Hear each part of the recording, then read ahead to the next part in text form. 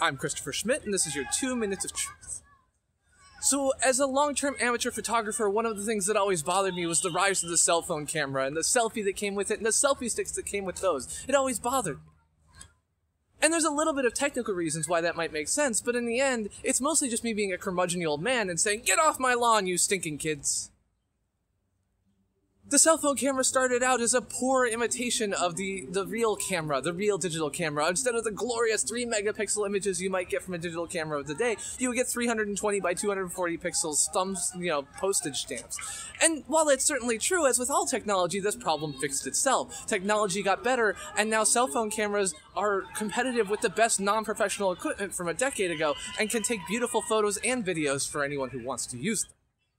The selfie I decried as being terrible to shoot all of the glorious, you know, lessons of photography, of framing and everything else like that. But of course, that's silly too, because selfies are pictures of representing self. They're pictures representing you having a good time with your friends that you want to share. If you're just taking pictures for yourself and not for sharing with other people, then why are you taking pictures at all?